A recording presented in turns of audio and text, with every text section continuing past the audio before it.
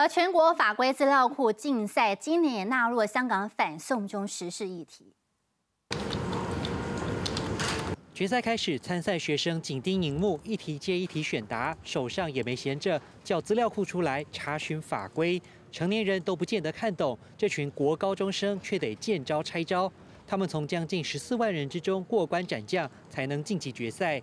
有人甚至一个月前就开始拼，不能睡午觉，然后要一直练法规，这样要看很多法条会很累。看全部可能会看不懂，就抓一些重点下来记，不然你要记全部好像也记不太得。学生用法律知识一较高下，但不论名次如何，主办单位希望法治教育向下扎根才是比赛真正的用意。教育部很高兴跟法务部哦，从十二年前就开始合作，我们决定要用一个嗯更具有创意的这个网络。的法规的闯关的竞赛，来鼓励我我们的各级学校的学生来参与哦。来用竞赛的方式啊，会提高大家的参与感。因为我们现在正在举行总统、副总统、立法委员的选举，我们也要需要透过这样的法治教育啊，让学生来影响家长、影响长辈，大家共同来反贿选。不止学生，老师也有挥洒的舞台，同样结合法规资料库设计课程。除了两大主轴反贿选、反酒驾，